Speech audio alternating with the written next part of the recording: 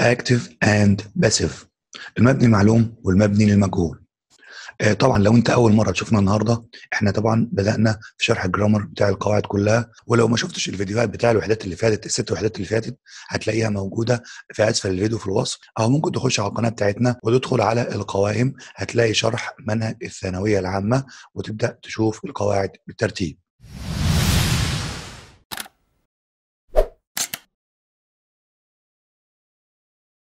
السلام عليكم ورحمة الله وبركاته. معكم أحمد العبد من دروس تعليمية أونلاين. مرحبا بكم طلبة وطالبات الثانوية العامة. إن شاء الله لو, لو أنت طبعا كنت أول مرة برضو شفنا النهاردة إيه، إحنا نظامنا في شرح القواعد بيبدأ بالتدريج من أبسط صورة إلى أصعب صورة أو اللي بنقول عليها tricks ات وشواذ بتاع القاعدة أو اللي بيسميها الوزير مهارات التفكير العليا. هنبدأ النهاردة مع ال past passive and present perfect passive forms طبعا ال past passive اللي هو الماضي البسيط مقصود به والماضي المستمر.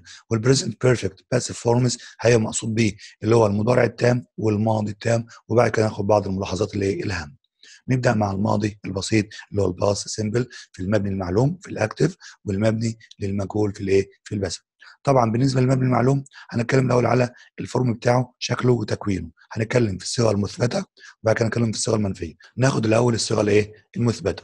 أول حاجة إحنا قلنا عشان الجملة تبقى صحيحة لازم يتوفر فيها ثلاث شروط. أول حاجة الفاعل عندي بعد كده الفعل عندي بعد كده المفعول. كده جمله مبني معلوم علي bought a tablet. طب أنا عايز أحول الجملة دي من مبني معلوم إلى مبني المجهول طبعا كان الماضي البسيط قبل ما أحوله كان بيتكون من the second conjugation of the verb اللي هو التصريف الثاني للفعل. أنا عشان أحول الجملة دي مبني معلوم لمجهول إحنا قلنا بنعمل إيه؟ بنعمل مقص بين الفعل والمفعول. يعني الفاعل بيجي في الآخر والمفعول بيجي في الأول. هتبص لو هنا a tablet جت في الأول أهيت والمفعول جه في الآخر مسبوق بكلمة by بين قوسين. فاكرين ليه؟ قلنا المرة اللي فاتت عشان ممكن أقوله أو لأ. لأن المبني المجهول إحنا قلنا ليه معنيين. الناس اللي إيه؟ اللي فاكرة بقى. قد يكون الفاعل مجهول أو قد يكون الحدث أهم من الايه من الفاعل. فأنا هنا بقول a tablet وجيت عند الزمن bought اللي هو الماضي البسيط اللي هجيب قبله إيه was أو were أهوت وبعد كده أجيب إيه تصريف ثالث يبقى الشكل بتاع الفاعل الفعل عندي اللي هو bought هيبقى إيه was bought. لما أنت جبته زي ما هو. ما هو التصريف الثالث بتاعه bought هو برضو زي التصريف الثاني لأن الفعل أصلا buy bought bought. يبقى هنا ال passive عندي بدأ بإيه؟ بمفعول اللي هو تابلت بعد كده was أو were أو was bought والتصريف الثالث bought وجبت الفاعل في الآخر مسبوق بكلمة إيه؟ by. طيب مثال تاني. I ironed my shirts. أنا بكوي أو أنا كويت الايه ها القمصان بتاعتي. طيب لما عاوز أحولها هبدا بإيه؟ ب my shirts. تمام جبت my shirts في الأول أهو. طيب وفي الآخر كلمة I جت في الآخر مسبوقه بكلمة by هتبقى by, by I لا أنا بحول ال I إلى me يبقى إيه؟ يبقى by me عشان كده بقت في محل مفعول لأن ضمير الفعل ما يجيش في آخر الجملة. طيب كلمة ironed هعمل فيها إيه؟ قال أنا أول هجيب قبلها was أو were تمام. طب I كانت بتاخد إيه؟ was يبقى أحط هنا قال لا. أمال أعمل إيه؟ قال لك لأن my shirts الجديدة بقى عندي بجيب لها الفعل المساعد were ليه؟ عشان هي اسم جمع. طب و ironed هتبقى إيه؟ زي ما هي. ليه؟ عشان التصريف الثالث برضو منها ironed لأن iron ironed ironed تمام كده؟ يبقى هنا المعنى بقى. علي bought tablet علي اشترى تابلت. يبقى تابلت مظبوط by علي. التابلت تم شراؤه بواسطة علي. طيب I iron my shirts أنا كويت القمصان بتاعتي. يبقى my shirts were ironed by me يعني القمصان بتاعتي تم كيها بواسطتي. تمام؟ عشان معنى يبقى إيه؟ واضح. نيجي بقى للصيغه المنفية في الماضي البسيط. المبني المعلوم والمبني المجهول الاكتف والباسف أول حاجة لما عاوز في الفعل في الماضي أنا بجيب الفعل في الأول زي ما هو وأجيب didn't وأجيب إيه مصدر الفعل. يبقى فاعل didn't زائد المصدر. نشوف. علي نفس المثال اللي قلنا من شوية. علي didn't buy a tablet. علي لم يشتري تابلت تمام. أنا عايز أقول إن التابلت لم يتم شراؤه بواسطه علي. هبدأ بمين؟ بالتابلت. تمام. اللي هو المفعول. زي ما قلنا من شوية أهو جبت المفعول في الأول.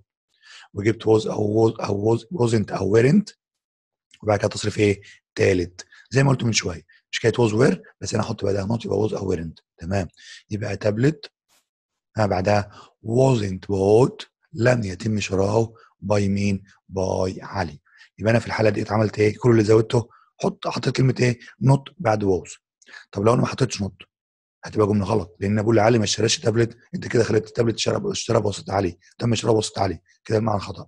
فلازم بدل جملة منفية بجيبها. طب أنا عملت هنا في كلمة did قال أنا بحذف did دي أنت تحذف آه حذفتها خالص وأنا بحول.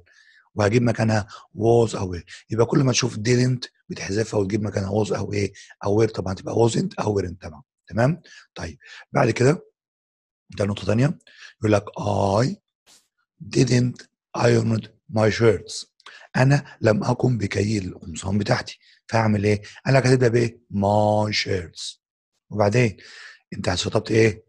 didn't شطبتها خلاص طيب هجيب مكانها wasn't weren't طب my shirts تاخد wasn't ولا weren't؟ طبعا جمع يبقى إيه؟ يبقى weren't my shirts weren't ironed by me. يبقى هنا القمصان قمصاني لم يتم كيها بواسطتي. تمام؟ وجبتها بين قوسين عشان ممكن أقولها وممكن ما أقولهاش. يبقى ده الماضي البسيط في الصيغة المثبتة والصيغة المنفية. إزاي أحوله؟ من مبني معلوم إلى مبني الإيه؟ المجهول. نيجي بعد كده ليه السؤال بنوعينه. Yes or no question و WH question. هنتكلم في yes or no question الأول اللي هو بيبدأ بفعل إيه؟ مساعد. تمام؟ الناس فاكرة اهي والفاعل بقى المصدر اللي إحنا قلنا في صيغة السؤال بتاع did في الماضي يقول لك إيه؟ did فاعل زائد المصدر. اسمها إيه؟ did فاعل زائد المصدر. طب أنا عايز أحول الصيغة ديت. قال لي إحنا زي ما عملنا من شوية نعمل إف did ها الناس مصحصحه أيوه تمام. هشطب did وأجيب مكانها إيه؟ أجيب مكانها was were تمام. أهو مظبوط. وبعد كده أجيب المفعول. بعد كده التصريف التالت. أوعى أجيب الفاعل. بعد was were لأن كده هيتكلم على الفعل هو اللي تم عليه الفعل ما ينفعش. مثلا did علي buy tablet هل علي قام بشراء التابلت هبدأ بإيه؟ ب was. تمام. ليه ب was؟ عشان المفعول هنا تابلت لأن هنا علي الفاعل والفعل والمفعول. فشطبت كلمة did وجبت بعد ال was جبت بعدها المفعول. يبقى was وبعدها المفعول. فالمفعول مين؟ تابلت يبقى was tablet تمام. وجبت was ليه وما جبتش were عشان a tablet مفرد.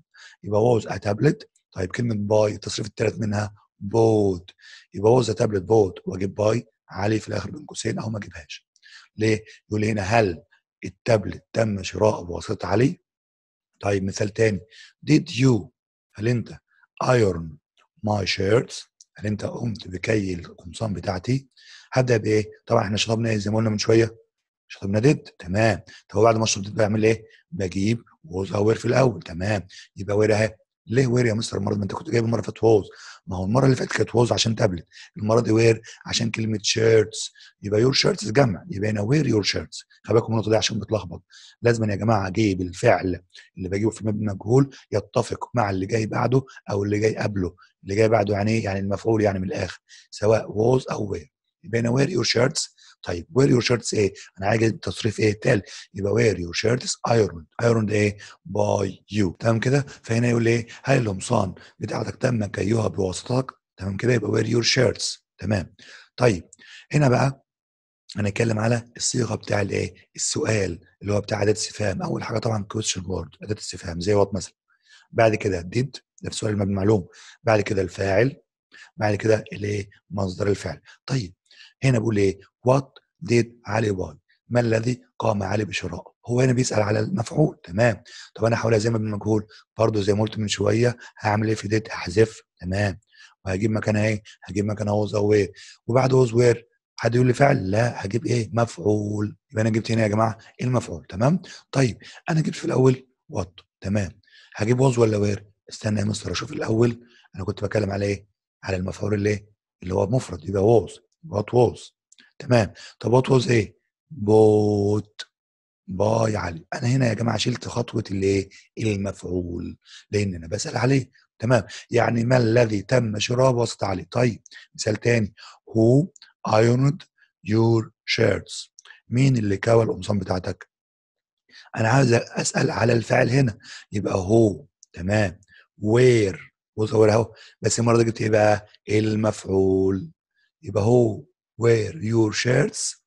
Ironed by يعني إيه؟ يعني مين الذي تمت القمصان كيها بواسطته. تمام؟ مين اللي القمصان اتكوت بواسطته. تمام كده؟ يبقى أنا هنا بسأل على الفاعل فشلته بسأل على المفعول فشلته. تمام؟ ننتقل بعد كده لل past continuous tense هناخد طبعا إيه؟ الصيغة المثبتة ال affirmative الأول. طبعا الفعل الجملة في في الزمن الماضي المستمر في المبني المعلوم ال active. كان بيتكون من إيه؟ من فاعل وفعل was أو were والفعل في ing تمام؟ يبقى فاعل was أو were والفعل في ing وبعد كده تكمله اللي هو المفعول يعني طيب في المبني المجهول اللي هو الإيه بس فأعمل إيه؟ قال لي كل اللي هعمله هجيب المفعول في الأول وبرضه was were زي ما هي واحد يقول لي تصريف ثالث على طول أقول له استنى ده أنت كده ماضي بسيط أمال أعمل إيه؟ هنجيب الأول being وبعد كده ing التصريف الثالث طيب إيه الفرق بين الزمن ده والزمن اللي فات بتاع الماضي البسيط؟ الفرق كلمة إيه being ده بس. زودت being قبل التصريف الثالث لأن هو مستمر. طب نشوف المثال. He was reading a story. هو كان يقرأ قصة كان مستمر في قراءة القصة. الفاعل هو he والفعل was reading والمفعول ال story هبدأ بمين؟ بالمفعول يبقى ال story تمام.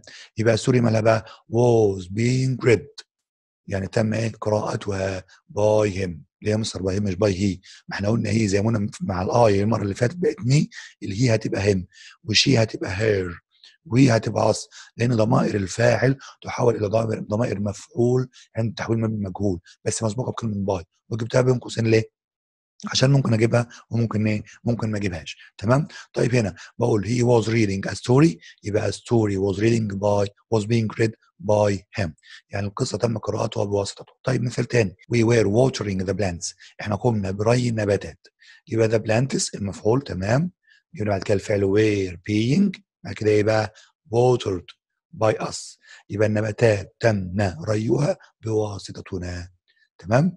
نفس الأفكار يا جماعة اللي قلناها قبل كده والمرة اللي فاتت تمام طيب نيجي بقى للصيغه المنفية في المبني في المبني المعلوم الأول وبعد كده المبني المجهول النفي بتاع الماضي المستمر هو كان بيكون من were وال ing هنفي هتبقى wasn't weren't هي كل القصة. بحط كلمة not تمام. طيب he wasn't reading a story. هو لم يكن مستمر في قراءة القصة. عايز أخليها مبني مجهول. هبدأ ب a story تمام. story طيب بعدها wasn't أو weren't تمام زي ما هي. وهجيب من عندي being عشان ده مستمر تمام. طب وكلمة reading بشيل منها ان جي وهخليها في التصريف الايه؟ الثالث يبقى story wasn't being read by him. يعني القصة لم يتم قراءتها بواسطته. طيب لما أقول جملة ثانية we weren't watering the plants. إحنا لم نقم بري نباتات. طب أنا عايز كمان بالمجهول فين المفعول؟ The plants. تمام. واحد هيقول لي يا مستر أقول لك. قلت له هيقول لي the plants wasn't. إزاي يا ابن ما هو plants هنا جت في الأول. فبجيب wasn't زي الجملة اللي فاتت. استنى بس ركز في الجملة اللي فاتت كانت a story مفرد. هنا the plants جمع. يبقى the plants weren't ركزوا في ديت يا جماعة بتلخبطوا فيها. يبقى the plants weren't being watered أنا عملت إيه؟ جبت weren't عشان plants جمع و being من عندي عشان ده ماضي مستمر وتكوينه بيجيب إيه؟ بنجيب فيه being في الماضي المستمر في المجهول بعد كده water هتبقى watered جبتها في الإيه؟ في التصريف الثالث مثال بقى للسؤال في المبني المعلوم الأول طبعا في زمن الماضي المستمر اللي هو كان بيبدأ بإيه؟ ب was أو were هل هل كنت مستمرا في كذا بعدها الفاعل بعدها الفعل في ing طب هخليه في مبني المجهول إزاي؟ برضه هجيب was were بس هجيب بعدهم إيه؟ المفعول وكل مرة ما بنجيب سؤال بتاع الفعل المساعد بنجيب بعد الفعل المساعد الايه؟ المفعول على طول سواء كان في الماضي أو في الإيه؟ أو في الماضي المستمر. طيب هنا المثال عندكم إيه؟ was he reading a story؟ هل هو كان مستمرا في قراءة القصة؟ طبعا لو بجاوب بقول yes و no أنا هنا مش هجاوب أنا هنا هجيب برضه سؤال بس في الايه؟ مبني المجهول هبدأ ب was were وبعدهم مفعول على طول فرحت قايل was was إيه؟ المفعول مين؟ he ولا a story؟ طبعا a story اللي وقع عليه الفعل. يبقى هنا was a story. تمام. بعدها هجيب being عشان ده مستمر. طب وكلمة reading هرجعها لاصلها read والتصريف الثالث بتاعها برضه read يبقى هنا a story being read by him. طيب. لما أجي أقول مثلا were you watering the plants أهو. were you. جبت المرة دي were أهو. the plants.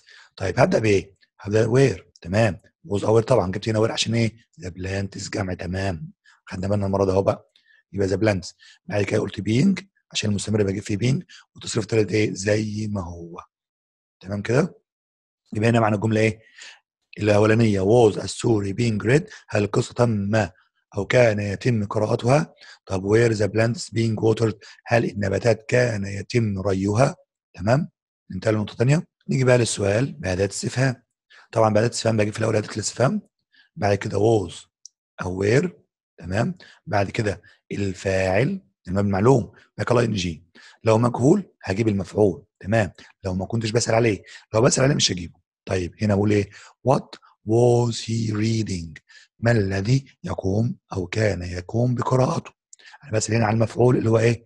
اللي هنا عليه مش اللي هي القصة يعني story طب لما أجيبها في المبنى مجهول قال بتجيب زي ما هي؟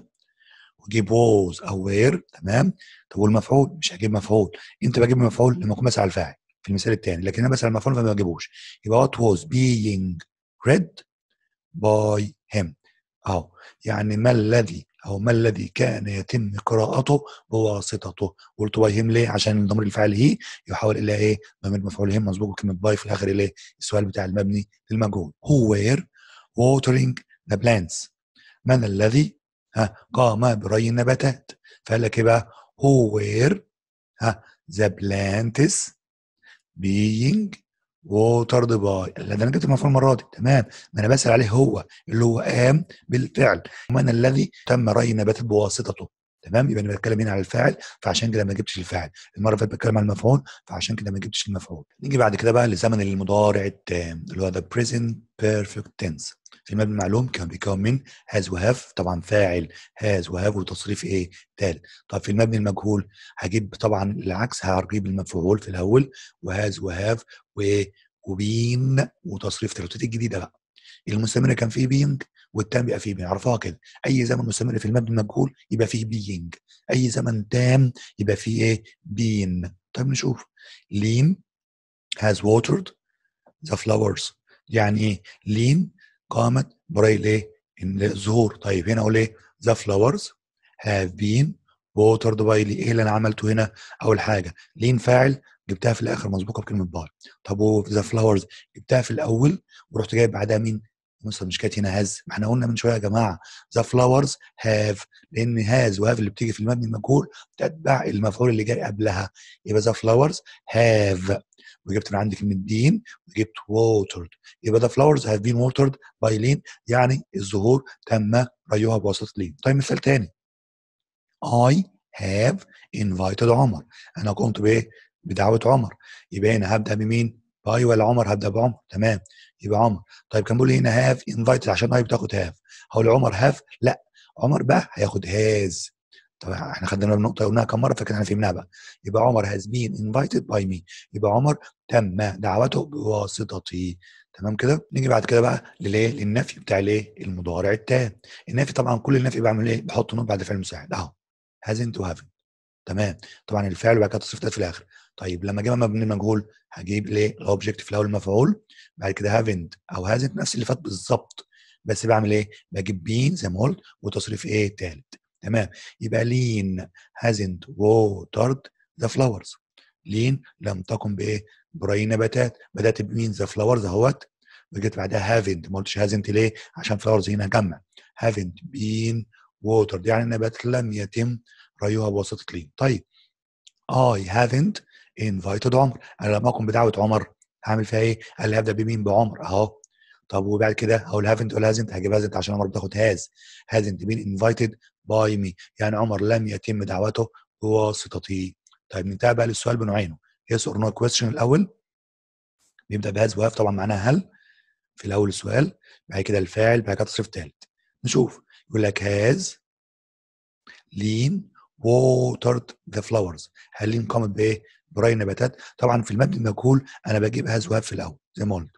وبعد كده المفعول بعد كده been بعد كده تصريف ثالث أنا زودت برضو إيه؟ been من عندي عشان ده مبني المجهول في زمن المضارع التام.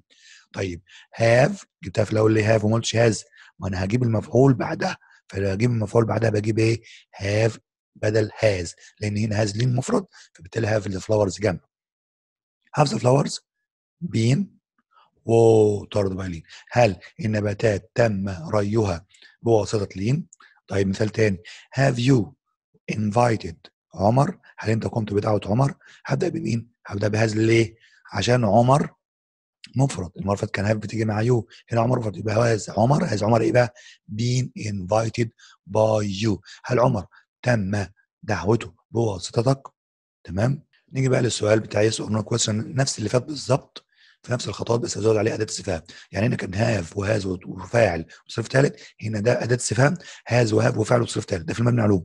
في المجهول كنت بقول هنا has و have ومفعول و been وتصريف ثالث. هنا أقول أداة استفهام. و have و has ومفعول و been وتصريف ثالث. طيب نشوف.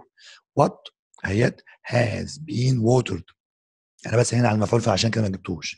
فبالتالي لما هقول المبني مجهول مش هجيب المفعول برضه. يبقى وات هاز بين ووترد باي لين تمام؟ كده واضحة أهو. يبقى وات هاز لين يبقى وات هاز بين ووترد باي لين جبت لين في الآخر. ومكان المفعول ما جبتوش عشان أنا بسال عليه بوات يعني من الذي تم ريه بواسطه لين اللي هي الظهور يعني. طيب هنا هو have you invited من الذي قمت بدعوته؟ أنا بسأل هنا على مين؟ ها؟ يبقى هنا أقول لك إيه؟ who has been invited by you برضه هنا بسأل عليه على المفعول برضه. يبقى who has been invited by you من الذي تم دعوته بواسطتك؟ يبقى لما بسأل على المفعول يا جماعة سواء عاقل أو غير عاقل ما بجيبوش في المبني للمجهول. نيجي بقى لزمن إيه؟ الماضي التام. الماضي التام بقى طبعا إحنا قلنا تام يبقى أكيد هيبقى فيه إيه يا جماعة؟ تصريف ثالث قبله إيه؟ been. تمام. في المبني المجهول طبعا زي ما قلنا في المضارع التام. هنتكلم على الإثبات الأول صيغة مثبتة.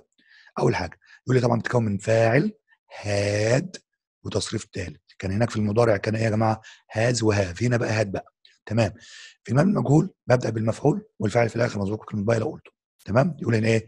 He had checked his email before turning off the computer. هو اتأكد من الإيميلات بتاعته اللي جاية أو اللي أرسلها يعني قبل ما يقفل الكمبيوتر. طب هنا هبدأ بإيه؟ إيه المفعول هنا؟ اللي هو اتأكد منه. طبعا الإيميل تمام. بدأت بالمفعول أهو. و had و been وتصريف ثالث قلت ليه قلت في الأول إيه بقى؟ his emails أو his email مفرد هنا. طبعا had بتيجي معاها المفرد والجمع مش تفرق بقى هنا بقى. his email had been checked تم التاكد منها يعني أو فحصها before turning off إيه the computer يبقى كل اللي عملته بدأت من المفعول و had جبتها زي ما هي وجبت بعدها been وبعد كده التصريف الثالث طيب الصيغة المنفية. الزمن ده سهل يا جماعة جدا. الفاعل و had تصريف ثالث هبدأ بإيه؟ بالفعل he hadn't checked his email. وكمل الجملة عادي. طيب هبدأ بمين؟ بالمفعول. يبقى his email. تمام. طيب هقول had ولا hadn't أنا عايز انفيها مستر يبقى hadn't تمام.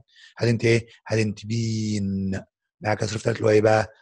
checked before turning off the computer. يبقى هنا الإيميلات بتاعته أو الإيميل بتاعه لم يتم فحصه أو تأكد منه قبل غلق الايه الكمبيوتر. نيجي بقى لإيه؟ للسؤال. السؤال طبعا بنوعيه yes or no الأول طبعا. طبعا السؤال هنا في الماضي التام بيبدأ بكلمة had تمام؟ يبقى had أهو. بعدها الفاعل بعدها تصريف ثالث في المبني المجهول هتبقى had والمفعول been وتصريف ثالث زودت هنا إيه؟ been. وجبت المفعول بعدها على طول. مثلا هاد هي تشيكد his email before turning off the computer هل هو تأكد وفحص الإيميل بتاعه قبل ما يقفل الكمبيوتر؟ أنا عايز اجيبها من مجهول يبقى هل الإيميل مش هل هو بقى عشان بجيب بعد هل ديت إيه؟ اللي هي هاد بجيب ورا المفعول. يبقى هاد his email. جبت من عندي إيه؟ بين ليه؟ عشان في المبني المجهول في أي زمن تام بجيب بين بعد كده التصريف اللي الثالث يبقى أنا هاد his email بين تشيكد before turning off the computer. يعني هل الإيميل بتاعه تم التأكد منه قبل غلق للكمبيوتر؟ طيب نيجي للسؤال بتاع إيه؟ أداة الاستفهام. اللي هو بنيجي أداة استفهام في الأول قبل هاد يبقى أداة استفهام وهاد وفاعل وتصريف ثالث هتبقى أداة استفهام وهاد ومفعول لو ذكرته لما كنتش بسأل عليه يعني. وبين وتصريف ثالث نشوف. What had he checked before turning off the computer. إيه اللي هو اتأكد منه؟ قبل ما يقفل الكمبيوتر. هتلاحظوا إن أنا بسأل على مين؟ بسأل على المفعول عشان كده ما جبتوش في السؤال المبني معلوم ولا هجيبه سؤال مبني مجهول اللي هو الإيه؟ اللي هو الإيميل يعني. يبقى وات جبت هاد بعد كده ها جبت هتقول لي مفعول ما هو مش موجود المفعول أنا بسأل عليه أصلا.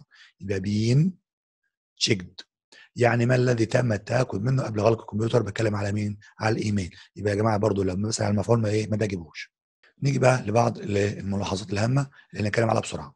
طبعا هنا بيقول لي إن عندك ضمير المفعول بيحول إلى ضمير فاعل عندما يوضع في بداية جملة المبني المجهول. تمام؟ يعني I we you he she it they تمام دي ضمير فاعل بتحول إلى إيه؟ إلى ضمير مفعول تمام؟ طب لو كان في المعلوم أصلا ضمير المفعول اللي موجود في الآخر زي دي مثلا هعمل فيها إيه؟ هحولها لضمير فاعل يعني عمر helped me يبقى I was helped by عمر. عمر عمر helped him يبقى he was helped by عمر. عمر helped her يبقى she was helped by إيه by عمر. تمام كده؟ وجاب لي مثال تنوات يتحول ضمير الفاعل. إلى ضمير مفعول بعد by في جملة المبني المجهول يقول لك. she was preparing the family lunch. يبقى the family lunch was preparing by إيه by her. يبقى اللي عكسنا في المعلوم لما ألاقي ضمير الفاعل في الأول بحوله ضمير مفعول في المبني المجهول طب المعلوم لو في آخره ضمير مفعول هحوله ضمير إيه؟ فاعل. طيب. نيجي بقى لبعض الملاحظات الهامة. طبعا ملاحظات advanced level للمتفوقين فركزوا فيها شوية. بيقول هنا لما بجيب مفعول في أول الجملة وبعده who و which و that بجيب بعده فعل مبني مجهول سواء كان زمن بسيط أو زمن تام. زمن بسيط يبقى مفيش اي ام جي وزمن تام يبقى هنا بيتكلم على التصريف الثالث أو been يعني. طيب هنا بيقول لي إيه؟ هتعمل إيه؟ قال لي الجملة دي بالظبط بتساوي مفعول ها وتصريف ثالث مباشرة. نشوف المثال. the scientist أهو. who was awarded the Nobel Prize. يعني العالم اللي تم منحه جائزة نوبل had made great discoveries عمل اكتشافات عظيمة. هنا هبدأ بمين؟ العالم أهو. طيب ال scientist هعمل فيه هنا إيه؟ قال لي جبت scientist في الأول ما قربتلوش خالص اهو. طيب who was awarded قال لي انت ممكن تشطب who وممكن تشطب was وتجيب على طول إيه؟ المفعول. يبقى اللي أنا عملته هنا يا جماعة؟ جبت على طول the scientist awarded the Nobel Prize had made great discoveries يعني العالم اللي تم منحه نفس المعنى برضه جائزه نوبل عمل اكتشافات عظيمة. تمام مثال تاني. the tower which was built at the corner cost millions of dollars. لي نفس الكلام اهو. which was built البرج اللي تم بناؤه على زاوية أو على نص ديت يعني كلف ملايين الدولارات. أنا ممكن برضه أعمل إيه يا جماعة؟ زي ما قلت من شوية هاتش برضه which ينفع؟ واتش بوز وجملة برضه صحيحة بيلت بس. يبقى إيه؟ يبقى ذا تاور بيلت على طول at the corner cost millions of dollars. طيب ملاحظة ثانية قال لي لو جبت مفعول في الأول وهو ويتش وذات ومعاه زمن مستمر ممكن أجيب الصيغة دي بتساويه اللي هي بقى مفعول وبينج وتصريف ثالث الصيغة البسيطة قلت مفعول في الأول أهوت وتصريف ثالث خلي بالكم.